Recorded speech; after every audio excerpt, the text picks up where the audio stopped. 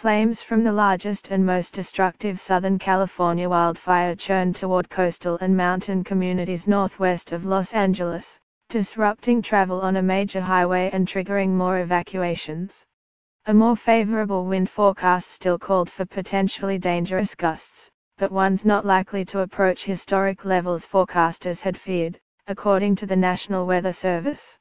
This is good news for the fire crews as the winds will not be driven quite as vigorously, a Weather Service statement said. In the exclusive Bel Air section of Los Angeles, where multimillion dollar houses give the rich and famous sweeping views, authorities tallied four homes destroyed and 11 damaged by a fire that erupted before dawn Wednesday. Firefighters watched for remaining hot spots Thursday. Flames there also burned a wine storage shed at media mogul Rupert Murdoch's 6.5 hectare Moraga Vineyards estate and appeared to have damaged about 2.8 hectares of vines, a spokeswoman said. Calm overnight conditions helped crews protect the Ventura County resort town of Ojai, where most of the 7,000 residents were under new evacuation orders following a burst of wind late Wednesday. At Ojai Valley Community Hospital, officials said they moved non-ambulatory patients to another hospital as a precaution. The hospital said in a statement that several dozen patients still remained there Thursday. A woman was found dead in a wrecked car in an evacuation zone near the city of Santa Paula, where the Ventura County fire began Monday night, but officials could not immediately say if the accident was fire-related. To the west, firefighters prevented another disaster at Tiny La Conchita, a seaside hamlet below coastal bluffs that in the past have unleashed destructive landslides including one that killed 10 people in 2005. A short distance up the coast, evacuations were ordered in Santa Barbara County for several hundred residents of the beach city of Carpinteria.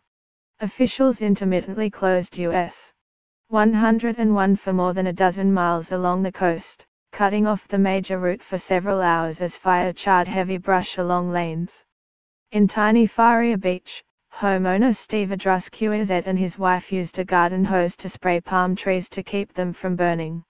We're leaving, he said. We've been packed up since Tuesday. We left Tuesday night and stayed down at our son's house.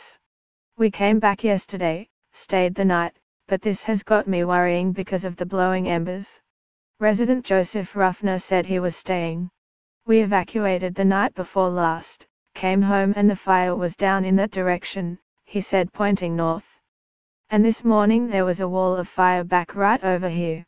And I did think it was no big deal, but it's coming back to burn what it did burn yesterday.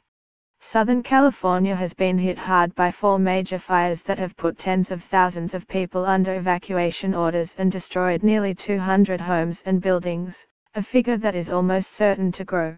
Melissa Rosenzweig, 47, was briefly back home Wednesday after evacuating from her Ventura house, which has been spared so far while most on her street had burned in the largest and most destructive of the region's fires.